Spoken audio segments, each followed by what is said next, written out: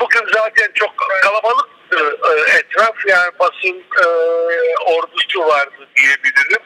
Dolayısıyla baş başa fazla bir şey konuşma imkanı e, olmadı. Ancak işte birkaç cümle e, eş genel başkanımız Serpil e, Kemal Bay'la e, konuşabildi. İşte selamlaşabildik. E, Ahmet Bey'le bir iki Ahmet Türk'le bir iki cümle konuşabildik.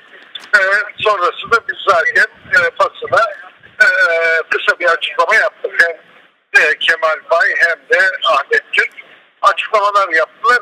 E, CHP ile temaslarımız devam ediyor. Zaten vardı. Bu yürüyüşten önce de vardı. Bu yürüyüşü konu olan, konu alan, bu yürüyüşle ilgili e, istişareler ve görüşmeler yaptık. Bunu devam ettirme konusunda bizlerin de CHP'nin de e, niyeti ve isteği var görüşmeler, görüşmeler e, devam edecek.